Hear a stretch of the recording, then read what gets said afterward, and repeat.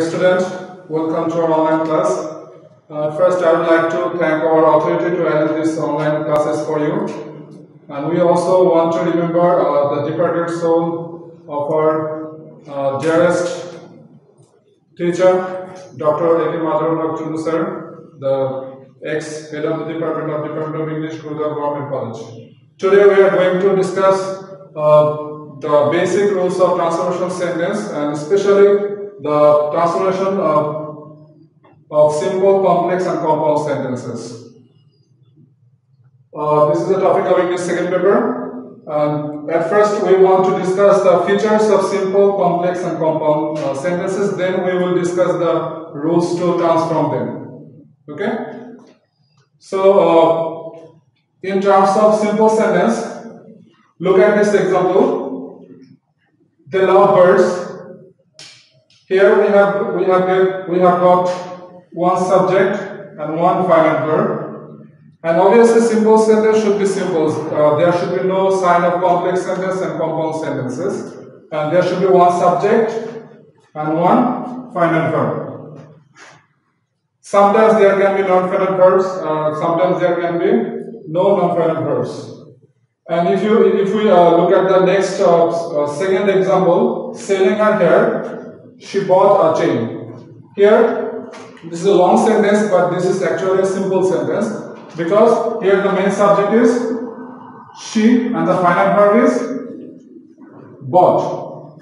Here, selling is not the final verb. So it maintains the conditions of simple sentence. One subject, one final verb. Got it? Sometimes the sentences can be uh, big in size or large in size, but they can be simple, uh, simple sentence. For example, if, if you see uh, in spite of verb plus ing in the starting of a sentence, it can be also simple sentence, but it looks like complex sentence, but uh, actually they are simple sentences. Okay. Uh, next we are going to uh, the feature of compound sentences. Uh, there should be two clauses in compound sentence in a compound sentence and they should be added with uh, some conjunction for example and but or no. For example he came here and met everyone. Here we have got two clauses and there should be a conjunction. Here we have got and. This is why this is called a compound sentence. And uh, at last we want to discuss the features of complex sentence in complex sentence, there should be two clauses. One should be independent clause and one should be subordinate clause. And there should uh, we should use uh, some subordinate connectors to use to make a complex sentence. For example, we can use uh, the connector if, who, which, that. That means all types of relative pronoun. How, when, as, since, although, though, until, because. These are all indication of complex sentence. For example, if I were a Superman, I would fly to the USA. So if I were a Superman, this is a clause, and I would fly to the USA. That is another clause, but here we have got the sign and sign or connector of complex sentence. That is if. Here if, here and, and here there is no if, there is no and. That means there is no sign of complex sentence and compound sentence. That's why they are simple sentence. Clear? Okay, now we are going to uh, uh, to uh, uh discuss some examples of transformation of sentences between complex, compound, and uh, simple sentences. So the first one, uh, this is.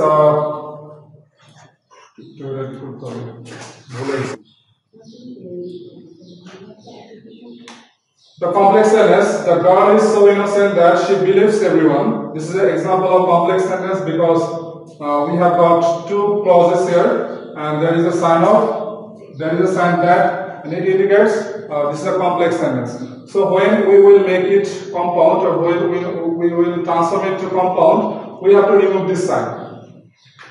Okay. So we know, uh, as we know the feature of the the feature of compound sentence is the use of and, but, or. That's why we have to use one of them. Here we have to use and. The girl is very innocent. Here, so is replaced by very. And then adjective innocent and believes everyone. And and is the indication of compound sentence here. So we have transformed this sentence from complex to compound. If the question demands that we have to make this sentence simple, then we have to make it simple. The God is, in, is innocent enough to believe everyone. The God is innocent enough to believe everyone. There is no sign of complex and compound sentence and this is why this is a simple sentence. Here we have to use a word enough instead of very or so and to believe. This is a simple sentence. Okay. If we look at this example, uh, first one is complex sentence. Although his father was a king, Cyrus was brought up like a son of a common man. So this is a complex sentence. There is indication of although. And if, if you find uh, although in a complex sentence, you have to use but in a compound sentence. Don't forget it. There is a condition. Cyrus' father was a king, but he was brought up like a son of a common man. That is Although if you if you find although in a complex sentence you have to use but in a compound sentence and sim in simple sentence you have to use in spite of. This is the condition. In spite of being the son of a king, he was brought up like a son of a common man. So this is another rule. Now we are going to the next one.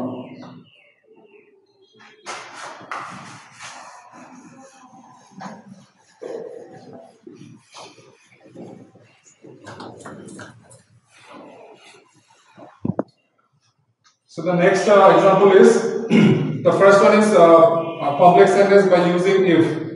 If you don't come here, you will miss it. So here the if clause is negative. As we find don't here, it's a negative clause and that's why we have to make a simple sentence by using without plus verb plus ing here. If you if you don't come here, you will miss it. Uh, to make it simple, we have to use we have to uh, if and subject then we have to use without then main verb plus ing. Without coming here, you will miss it. Is the simple sentence. And in terms of compound sentence, you have to use not and, not but, but you have to use or here. So don't forget this condition. So in, in terms of if, there should be without in terms of simple and or in terms of compound. If, if the if the clause is negative, but if, if the clause is positive, for example, if you come here, you will get it. For example, if you come here, you will get it. Uh, here there is no don't. Just think it. Then you have to use not without. You have to use by here because this is a positive positive clause. If you come here, you will get it. Then you have to use by coming here, you will get it. And in, in, in case of compound sentence, you have to use and there. Come here and get it. So don't use or here. If the if clause is positive, try to use and. And in, in terms of symbol, try to use by plus verb plus ing. Okay, we are going to the next rule.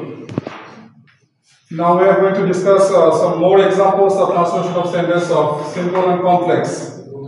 Uh, the first sentence, simple sentence, I saw a boy running towards me. This is simple sentence because there is no sign of complex and compound sentence.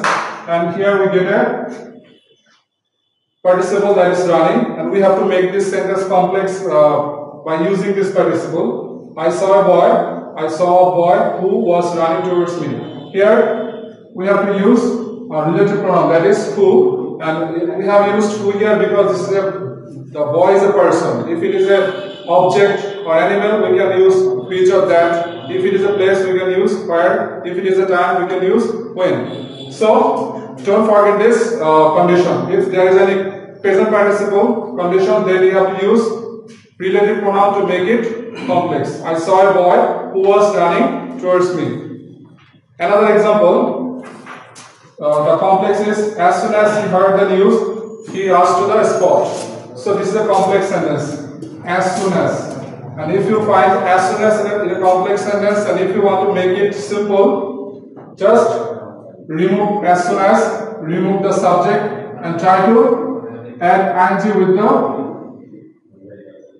verb. Then make it simple. In the uh, verb plus ing in the beginning of the sentence is a condition of simple sentence. Here in the news, he has to the spot. Clear? We can go to the next one.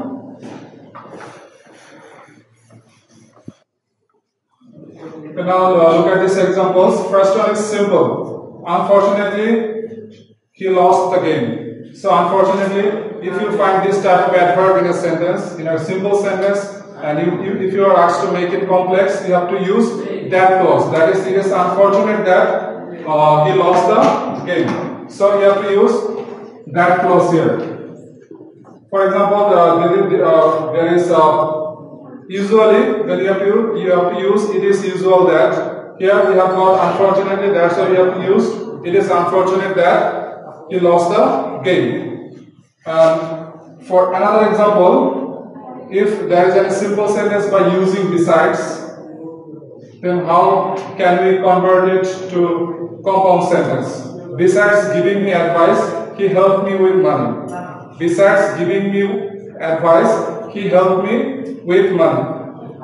In compound sentence, we have to use not only and but also to make it compound. He not only gave me advice, but also helped me with money. So, if there is any beside in simple sentence, make it compound with not only and but also. So, for this example, we can see that uh, the first one is simple, a complex sentence. She speaks as if she were a queen. Uh, there is an indication of complex sentence that is as if. And if, if we find as if in a complex sentence, we have to use like a simple sentence to convert it into simple sentence. She speaks like a queen. So, uh, we have discussed the basic rules of uh, uh, transforming of simple, complex and compound sentences. In another class, we will discuss other uh, criteria, other, other rules of uh, transformation of sentences. That's all for today. Thank you.